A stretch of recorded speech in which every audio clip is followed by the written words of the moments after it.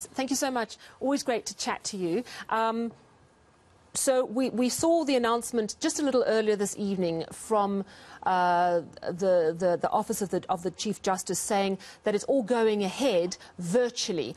Um, am, am I correct in my understanding that that will go ahead purely to quickly postpone, as it seems both parties are in agreement that it should be postponed?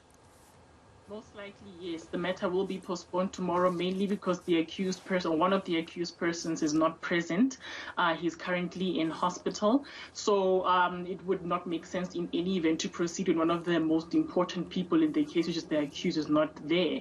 Um, I'm not sure what happened because I think I read somewhere recently that the matter was supposed to be heard in person and that the Desmond was supposed to be present there. But obviously, now with what's happening uh, now, he's now you know, unable to attend the, the hearing. Yeah, it, it, it's it's probably because both parties say, well, it'll be quicker to do a quick Zoom call rather than trek to Peter yeah. Maritzburg and do it all in person when we know that it's likely to be uh, postponed. Of course, it's just one yeah. more delay. What is likely to happen mm. after this? Is it about waiting for the former president to get well enough to appear in court and that's simple? Or is it juggling a million diaries?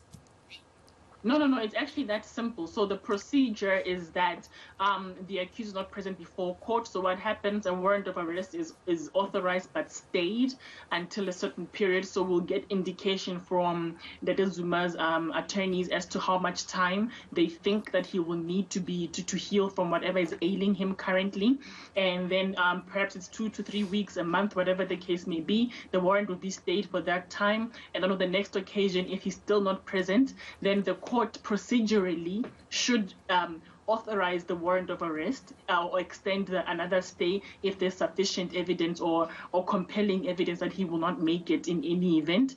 And then matter we postpone it again. But if on the next occasion he is wealthy, I mean, sorry, healthy enough to appear before the court, then he appears and then the matter proceeds where it, it basically left off. Right, okay. So the issue uh, uh, that has to be heard is this issue of Billy Downer, uh, Jacob Zuma's team saying, look, this man is biased against uh, the former president. We don't want him heading up the prosecution team. Um, that matter, of course, is not going to be discussed tomorrow, more than likely. It's going to be quickly postponed. So I don't want to dwell on that now. But I do want to ask you a little bit more about the fact that the former president is in hospital. And it is unclear, and, and my colleague Thulasizwe Simelane tried his best uh, to find out from correctional services whether this is uh, an unexpected illness that has landed the president in the medical unit um, at the correctional services facility, or whether this was a scheduled medical checkup. Uh, is it very clear uh, which one it was, or is it impossible to say from this perspective?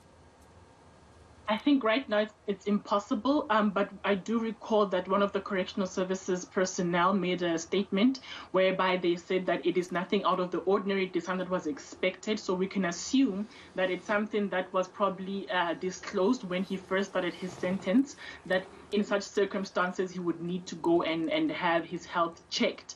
Um, but I think the attorneys of Datism will be the ones who are more in the know of what is exactly happening with him, and they'll be the ones who will disclose to the court what they are allowed to disclose. Because remember, mm. his health is also protected Correct. by the uh, doctor privilege and, and everything, and also the attorney-client privilege as well. So he can only expose only what his client would allow him to expose to the court tomorrow, which is sufficient enough to grant a postponement. Yeah, and of course, let's not forget he is a 79 year old man, and we also know that he hasn't been vaccinated against COVID 19, or certainly hadn't when he was taken uh, into prison.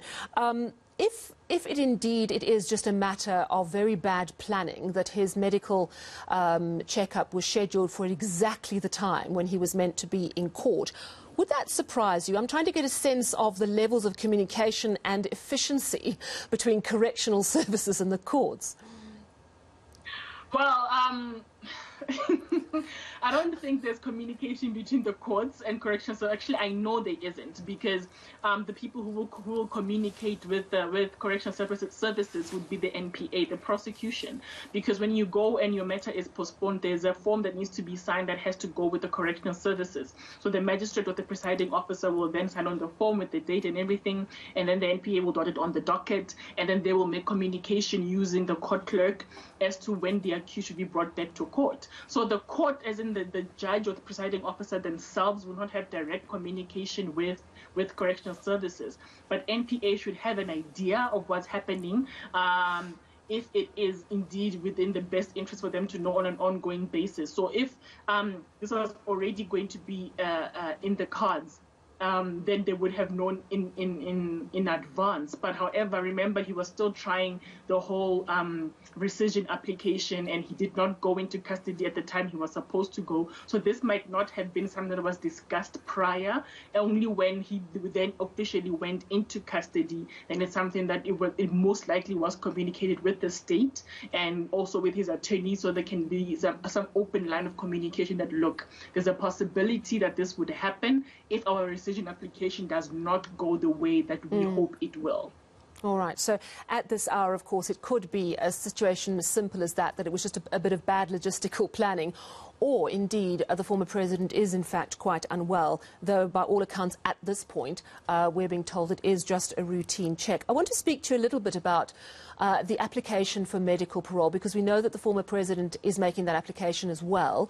What do you need to prove to get medical parole. I mean, all of us remember Schabir Shaik, uh, and it seemed that he got medical parole quite easily because he was spotted on golf courses months after he received his parole. But, but talk us through, legally, what are the correct requirements for medical parole?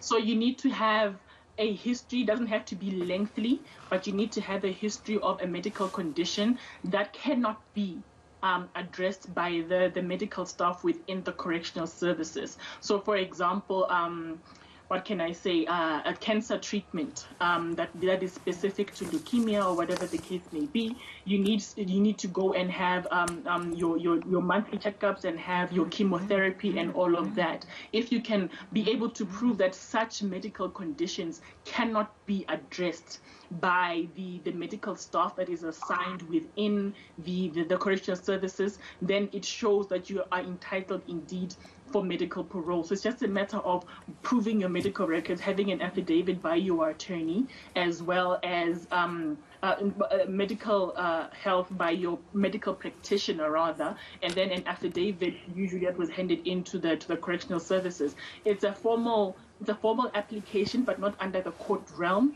And then the medical the medical parole board would then look at it and weigh up and see if indeed everything that you've put in there is sufficient enough for you to be released out on medical parole. It really isn't that hard of an application or intense for that matter. I think that's why Schabir got it so easily because you must remember that even though it is uh, a public, it's a correctional services, it's public public health as well. Public health is limited to certain extents. We don't know what kind of medical condition that Zuma is in and what he needs. So, and what he has been, because he has been traveling overseas to go see doctors. That's why he wasn't appearing in the in the Zondo hearing and all of those things. So he has alleged. So now we are now in a situation where, if he's going overseas to go seek medical attention, then most likely correctional services does not have the facilities to assist right. him. So therefore, he will be successful in that application. All right. Well, thank you so much for breaking that down uh, for us. That was attorney Nthabiseng Dubuzane of Dubuzane Attorneys.